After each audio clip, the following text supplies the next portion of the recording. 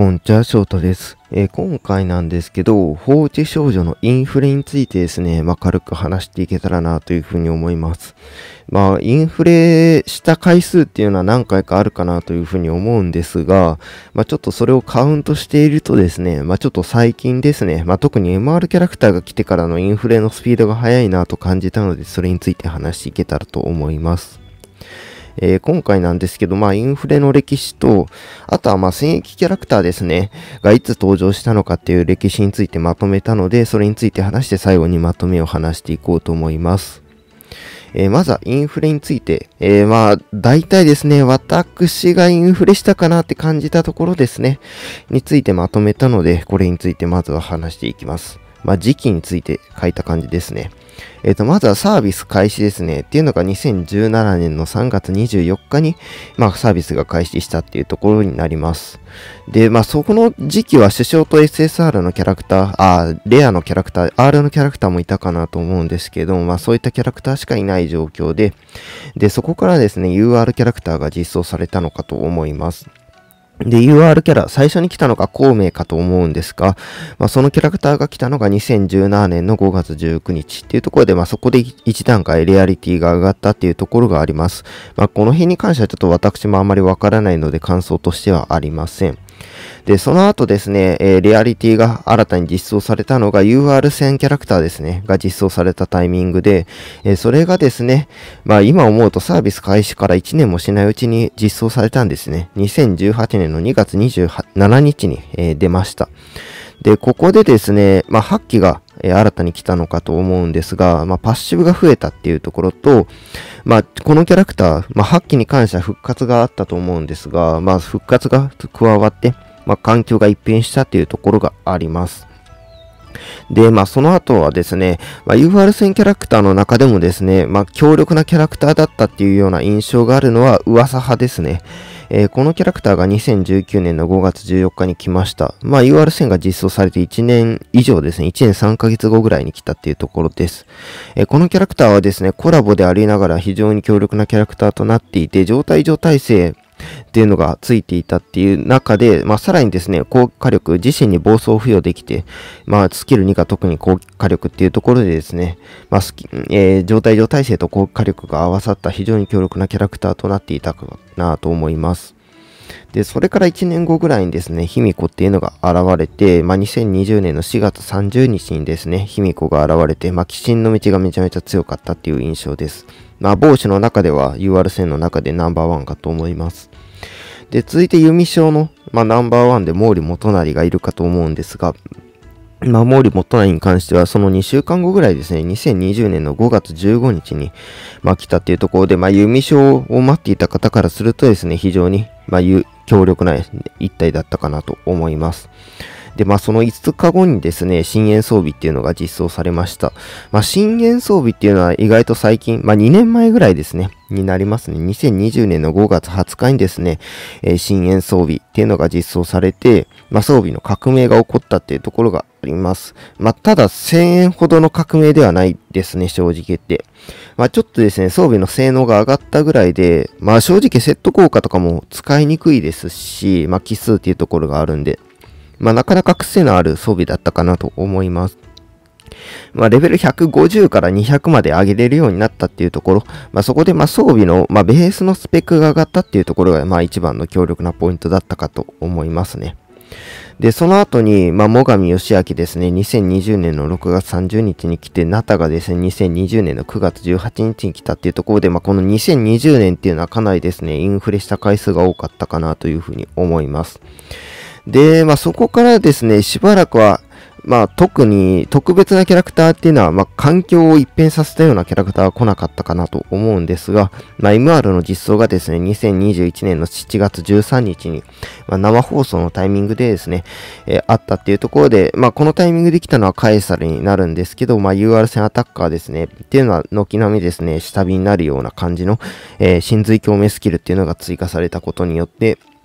まあ、あとパッシブが増えたっていうところで UR 線以下のキャラクターっていうのはなかなかバフキャラとかそういうのじゃないと使っていきにくいような環境になってきたかと思います。まあ、花嫁とかもあったかなと思いますが、まあ、あちらはまあ環境を変えたかと言われるとそうでもなかったかなと思うので、ここには載せておりませんが、まあ、大体ですね、MR 実装までのインフレの歴史に関してはこんな感じじゃないかと思います。で、ここからがですね、あの MR 実装してからがちょっと多すぎてですね、まあちょっとこの1枚にまとめたんですけど、まあまず先ほど言ったように MR 実装されたのが2021年の7月13日で、まあカエサルが来ました。で、このカエサルも正直今もう外れてますよね、パーティーから。まあもちろん、あの MR キャラクターを、まあみまあ、仮に全員持っていたとしたら、もうカエサルって使われないキャラクターになってきてるかなというふうに思うんですけれども、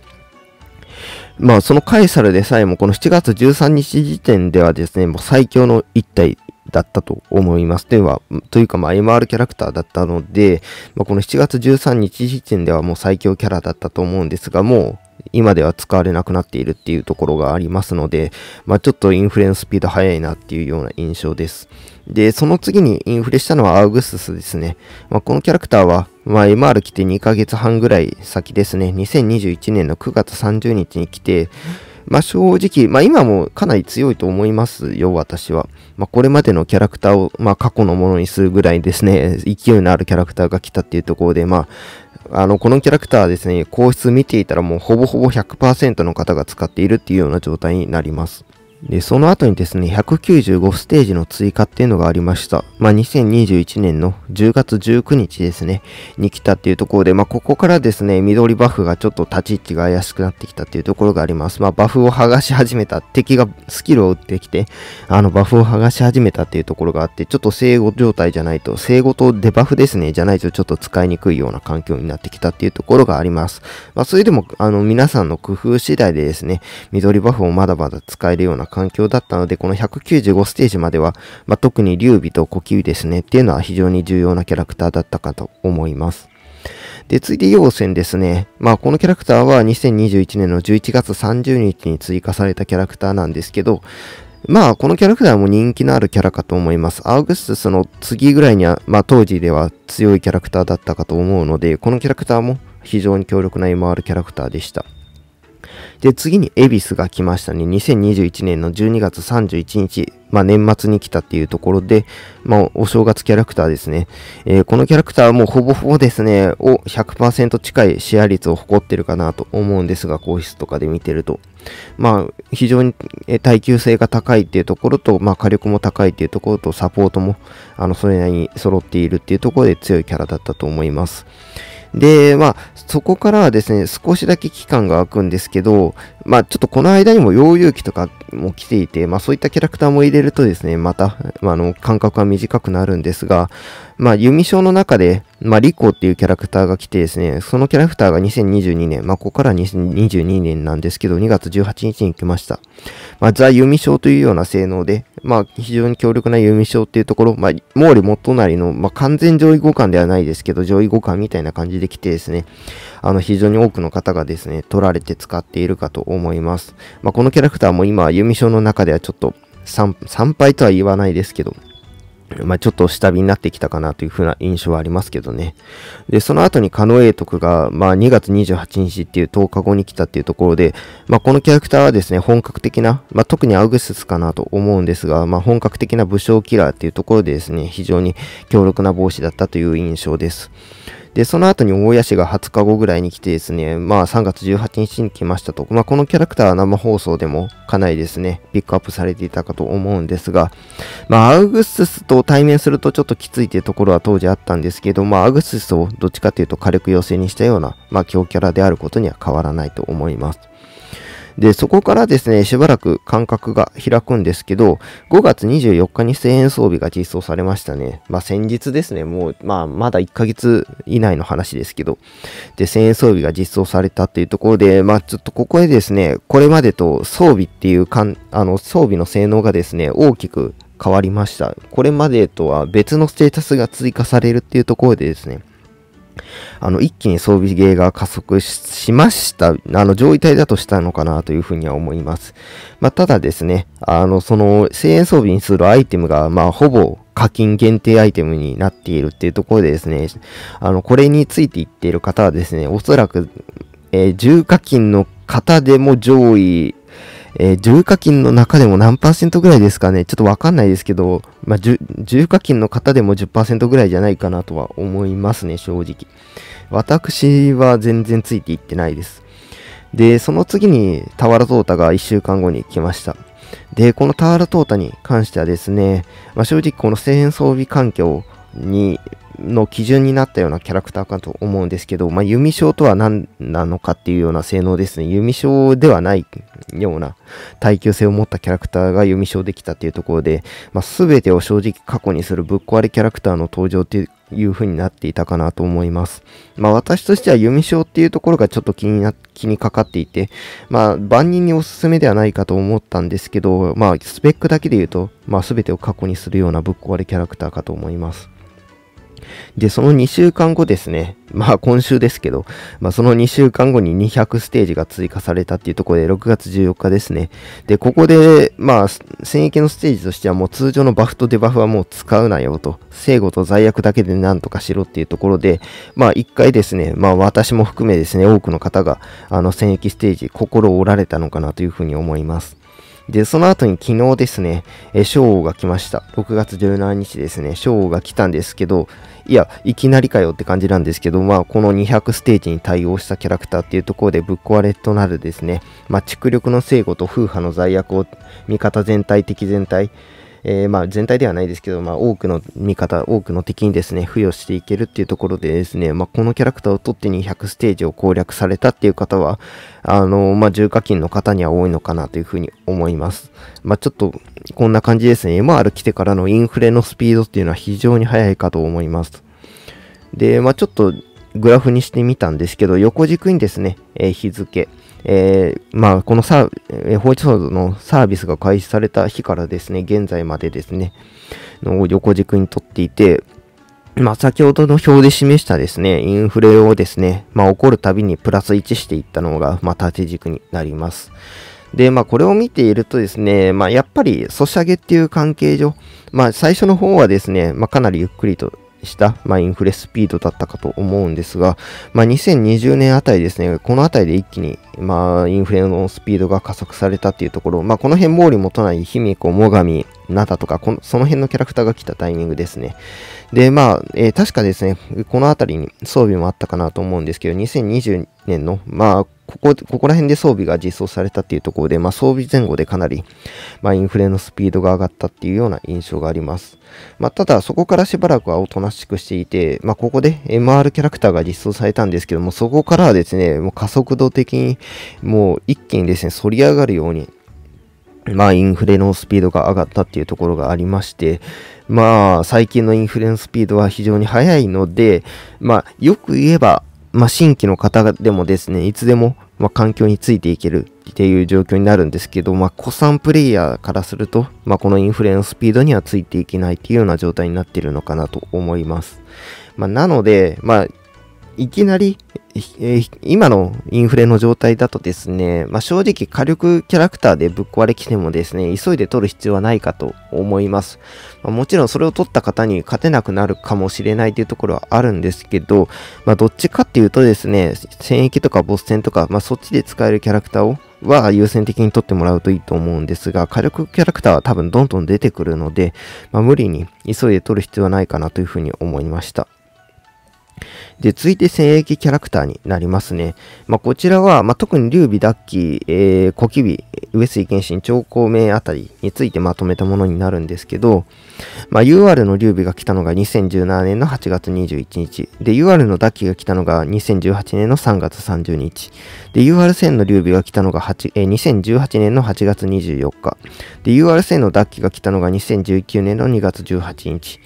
で、UR の、えー、UR 線の細分岐が来たのが2019年の6月6日と。まあ、ここまではですね、この3名ぐらいで、あの、バフを盛りながら戦っていたのかなというふうに思います。で、えー、2019年の11月あたりからですね、一気に戦役環境が加速しまして、えー、まず、コキビが来たのが2019年の11月15。で、上杉謙信の、まあ、UR 戦アバターが来たのが12月13。で、超孔明が来たのが12月27日っていうところで、ここら辺、まあ、この2019年2月27日でですね、まあ、ほぼほぼ戦役の、まあ、今のテンプレが完成したっていう風なものになりますね。で、えそこからですね、しばらく戦役に関しては、まあ、エリスは来たんですけど、まあ、エリスは来たというか、まあ、エリスはちょっと覗いているんですけど、まあ、しばらくですね、まあ、特に何もなかったんですが、2021年4月13日にですね、カッシースが来たっていうところで、まあ、ここで無課金で敵全体を、まあ、撃砕できるっていうところができて、あの、非常に強力なデバフキャラクターが来たかなというふうな印象です。で、えっ、ー、と、UR 線のかぐや姫はですね、正直細分岐がいれば特に必要なかったですし、そもそも分岐を入れる枠っていうのも必要なかったので、まあ、特に目立ってなかったんですが、あの、MR のかぐや姫でですね、2021年の8月13日に来ました。で、このキャラクターに関しては当時は必要なかったんですけど、まあ、後日ですね、195までのステージ追加があって、まあ、そこで緑バフが使いにくくなったっていうところで、いち、あの、いきなりですね、まあ、このキャラクターが必要になってきたっていうところで、この前の再販で取った方は多かったのかなと思います。で、その次に源広政が来て2022年ですね、1月31日に来ました。まあ、撃砕罪悪と状態上耐性無視、あ撃砕罪悪をですね、状態上耐性無視をした状態で付与できるというところで戦役で、あのー、まあ、191以降はですね、必須キャラクターになったかと思います。で、MR の超孔明も3月11日に来て、まあ、祝が正誤になることでですね、まあ、バフ解除されなくなったっていうところがありますので、非常に強力かと思います。まあ、196以降回す方は必須ですね、このキャラクターは。で、ショーも、えー、2022年の6月17日に来たんですけど、まあ、このキャラクターはもう、まあ、生後も罪悪もできるっていうところで、これまでの戦役キャラクターとはもう1段も2段もですね、まあ上のキャラクターになるかと思います。とりあえず戦役キャラクター誰取るか迷った方はこの賞を取っておけば間違いないかなとは思いますね。まあ戦役に関してはですね、えー、聖護と罪悪の内容がですね、被らなければ、あの別に腐ることはないかと思いますので、このキャラクターに関しては本当に取っておいたらいいかなというふうには思います。私も取れるサーバーを全部取るつもりでいるんで、あの、非常に強力です。あの、タワラトータの時は対人ですね、特に。で、革命が起きて、まあ、私自身が対人にそこまで力を入れていないっていうところと、まあ、弓章っていうところで装備の付け回しがやりにくいっていうところがあったので、あまりお勧めはしていなかったんですけど、この称号に関してはですね、まあ、正直、多少の育成を、まあ、落ちないぐらいの育成をしていれば、スキルには戦役で打っていけるかと思いますので、まあ、非常にですね、取っておいた方がいいと思います。で、戦役もまあ先ほどの表をグラフ化するとこんな感じですね。まあたまに落ち着く期間があるんですけど、まあ定期的にまあ来ているような、まあ戦役ね、最適なキャラクターっていうのは来ているような印象があります。で、今196以降、196以降のステージが実装されたっていうところでですね、まあおそらく運営さんも、まあそれに対応したキャラクターをどんどん出していくような時期になるのかなと思うので、まあ劉備とか小きびの絵もあるかもですね、まあ、そのうちあるんじゃないかというふうには思いますね。まあ、ダッキは、まあ、ちょっと章に食われたっていう感じが戦役目線ではあるので、まあ、ちょっと MR 化しても、まあ、この章ほどですね、あの戦役に、えー、使えるキャラクターにはならないというふうに思いますけど、まあ、コキビと劉備に関しては、まだまだですね、MR 化すると使えるかなというふうに思うので、まあ、純 MR では出さないでほしいと思いましたね。暴走キャラと、まあ、特にコブキャラに関しては。まあ、そういうふうに思います。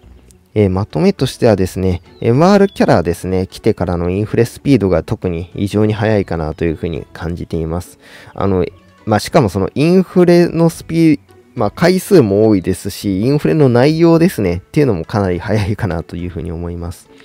で、その中でも特に1000円装備が来たこの1ヶ月ぐらいのですね、インフレスピードは異常ですね。なんかこれまでは何だったんだっていうぐらいの、まあ、インフレスピードになっているんで、まあもちろん、新しいレアリティが来るたびにそんな感じっていうのはあるんですけど、にしても今回は異常かなというふうに思っています。で、まあ、戦役キャラに関しては定期的に、まあ、来ているっていうところがあるんですけれども、まあ、バフキャラがいないとですね、あの、上杉謙信とか仮に持っていてもきついので、まあ、とりあえずバフキャラを確保していくっていうところをやっていただくのがいいと思います。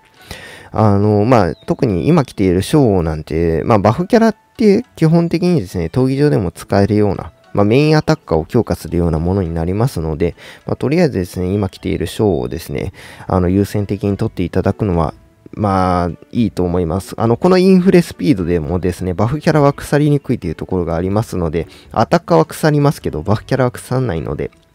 まあ、とりあえず、まあ、闘技場でも使えるっていうところで撮っていただくといいと思いました。えー、これで今回の動画を終わりにしようと思います。これからも放置少女の動画を上げていくので、もしよければ Twitter のフォロー、高評価、チャンネル登録よろしくお願いいたします。